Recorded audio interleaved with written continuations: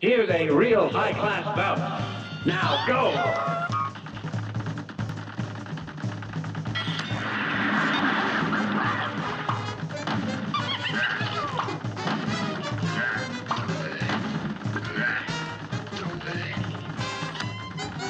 Oh!